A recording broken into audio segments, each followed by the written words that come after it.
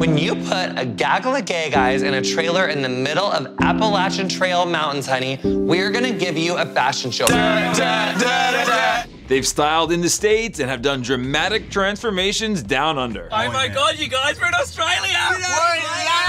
Now the Fab Five will work their makeover magic in Tokyo. Netflix is producing four special episodes set in Japan of its hit makeover show titled Queer Eye. We're in Japan. Get it, get it, get it, Antoni, Bobby, Jonathan, Karamo, and Tan head to Tokyo and work their magic on four Japanese men and women and will dive into Japanese culture, food, fashion, and grooming. David Collins, creator and executive producer of Queer Eye, says, In just a year since we launched season one, Queer Eye has become a global phenomenon once again and the Fab Five are truly the ambassadors of self-care and compassion that the world needs now more than ever. Filming in Japan is a wonderful opportunity for us to work with four deserving heroes that will help showcase the incredible traditions and customs of their countries. How do you feel? The special episodes of Queer Eye, We're in Japan will debut on Netflix in 2019 and will precede season 3 of Queer Eye, which will be set in Kansas City, Missouri. For more on this story, head on over to thr.com for the Hollywood Reporter News. I'm Adam Havener.